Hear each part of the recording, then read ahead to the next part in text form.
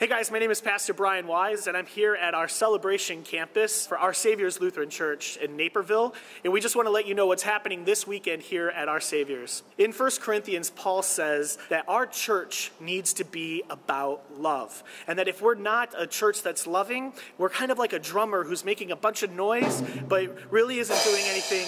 Hey, Chris.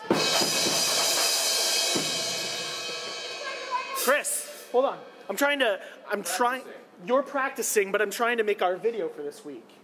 Instead of Chris playing the drums right now, I just want to let you know we're going to be talking about love this weekend, not so much focusing on the negative, but really looking at the positive aspects of the church.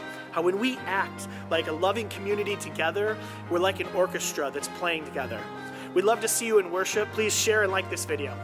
If I sing but don't have love, I waste my breath with song I bring.